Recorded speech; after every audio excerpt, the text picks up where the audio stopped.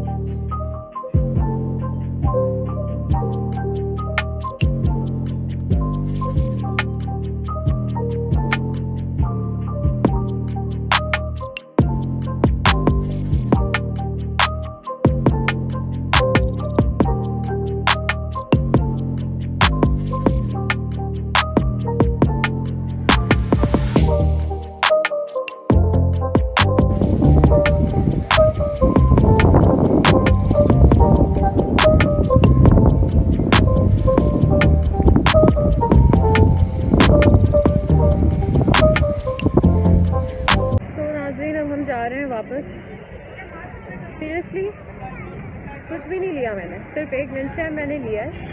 और मुझे कुछ समझ नहीं आया। जो जो मेरी लिस्ट में था जो मेरे प्लान्स थे कुछ भी नहीं।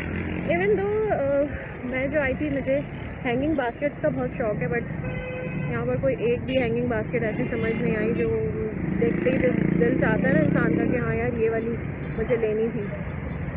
सो so, इस बार का flower show not as much as we love to shop हाँ सनिया ने एक दो प्लांट्स लिए हैं, वो भी ऐसे हैं कि बस वो हाँ बाहर शायद अवेलेबल नहीं है, इसीलिए यहाँ नज़र आ गए थे, ले लिए। चलें let's go let's move to car ये है ना?